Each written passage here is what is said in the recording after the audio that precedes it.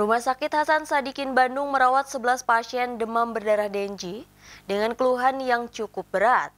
Ke-11 pasien tersebut kini tengah dalam perawatan khusus oleh tim dokter RSHS. Dalam satu bulan terakhir terjadi peningkatan pasien kasus DBD. Rata-rata pasien DBD yang dirawat di RSHS ini datang dengan keluhan berat seperti syok berkepanjangan, pendarahan, kejang-kejang hingga gangguan ginjal.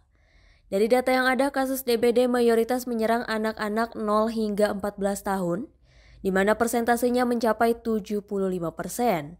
Kemudian usia 15 hingga 44 tahun mencapai 30 persen, dan sisanya di atas 45 tahun.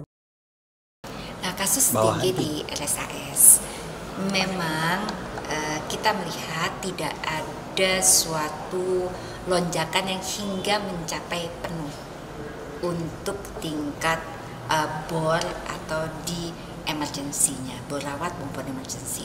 Tetapi bukan berarti kita ini sedikit.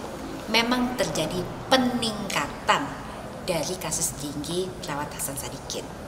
Angkanya?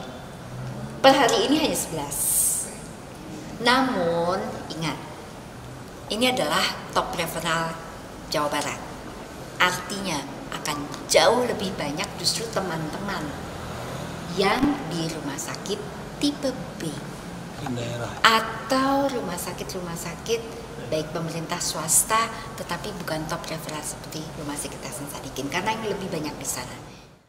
RSHS merupakan rumah sakit tipe A, sedangkan para pasien DBD mayoritas sekarang dirawat di RS tipe B, baik milik pemerintah maupun swasta. Angka kematian kasus DBD memang cukup tinggi seiring jumlah orang yang terkena DBD. Dari Bandung, Jawa Barat, Tim Liputan melaporkan.